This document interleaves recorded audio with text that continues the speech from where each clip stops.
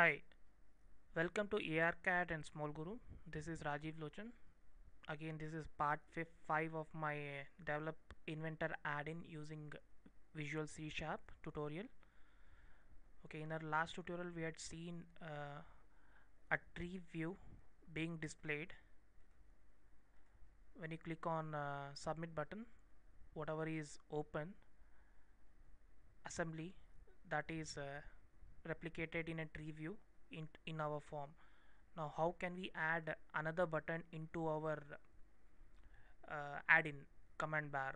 So we do that by going to our uh, project. We have ARCAD inventor add-in 4. I right click on it and uh, this time I also need to add a form. So I just go and uh, add form.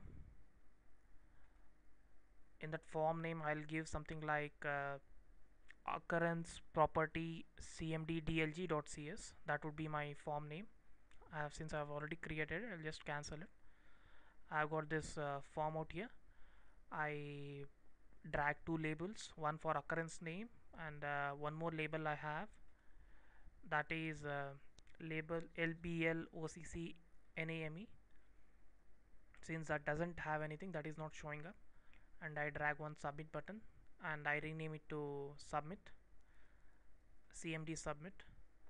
Okay then I need to add uh, one more class which will implement uh, our uh, button.cs earlier we had uh, assembly tree button.cs so we'll create a very much uh, similar uh, class and we'll name it as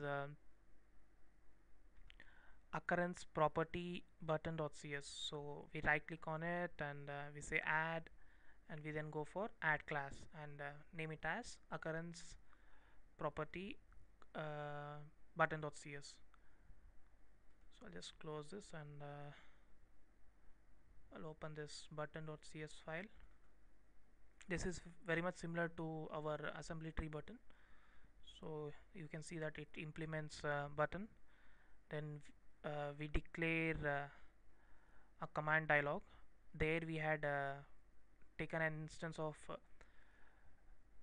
assembly tree button. Here we are doing it for occurrence property command dialog.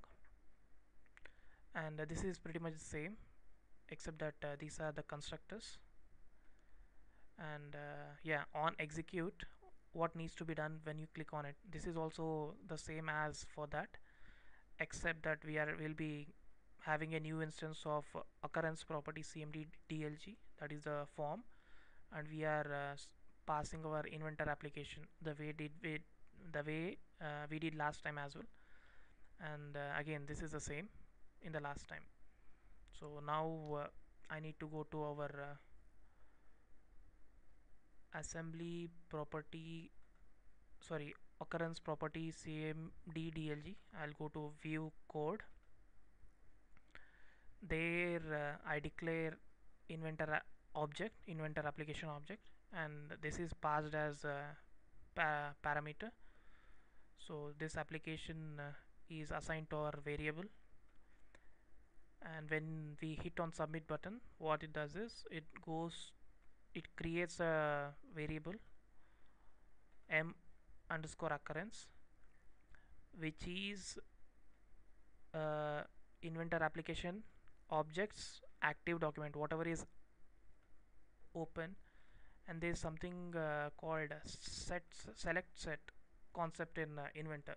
Basically whatever you select using your keyboard or uh, through your mouse that gets recorded into the user interface uh, details. So and we have to pass this as the index. Since we are interested in the first select whatever is done so that is returned and we are typecasting it. So we get uh, component occurrence type object into m occurrence. And uh, upon clicking uh, submit button we just change the label text into the display name of uh, whatever uh, part or occurrence has been selected by the mouse. Okay there's one uh, interesting concept here. This is a select set this is when you have uh, an object action behavior. This is basically like you select an object first and then uh, you perform the action. This holds good for something like delete where you select an object and just delete it. But most of the inventor uh, commands use in interaction uh, events. That is for action object uh, type of behavior where you invoke the command and then uh, do the selections. So we'll uh, look at it in uh, screencast to come. So basically once this is done uh, I need to go to my standard add-in server and I need to make some changes because we have added one more button and that needs to be reflected here. So I start with the declaring a new button variable. That is done first. Wherever you had uh, done something with our assembly tree button you need to do the same thing with uh, occurrence property button as well. Once that is done we go to our activate method and inside activate method uh, we load image icons. So basically assembly tree icon had is an icon and again we load one more image for occurrence property.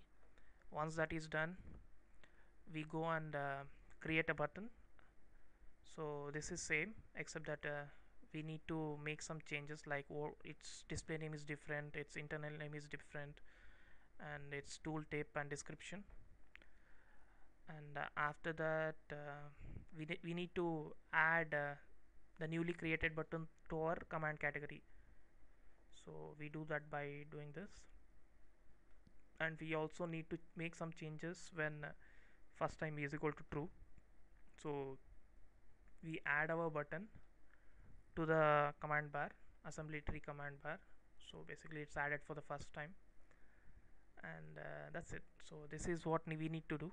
And once we do, do this uh, we actually have to unregister our, our add-on that we can do by using our uninstall.bat that I had discussed earlier. When you do this uh, restart uh, inventor add-in. Now your add-in won't be listed there. Again close inventor. Then uh, come back to Visual Studio and uh, right click on our project and build solution. So uh, upon doing that again uh, start inventor. And this time uh, you'll get a pop-up message saying like add-in loaded first time. So again it's like loaded for the first time. And uh, we see our occurrence property button listed here. I've already done this so it's like coming automatically so when I click on this I get my pop-up uh, command dialog. So again you remember that this is like uh, we need to first uh, select the object. So I need to select an object. If I click on this so that is selected. And if I submit action is taken. So it's basically like it's giving me the occurrence name. Okay let's make it interesting. And I go here so even even I can select from this tree view I click on uh, retainer. Then I submit. Then it gives you the retainer too. So basically this is one step further where I'm able to interact with uh,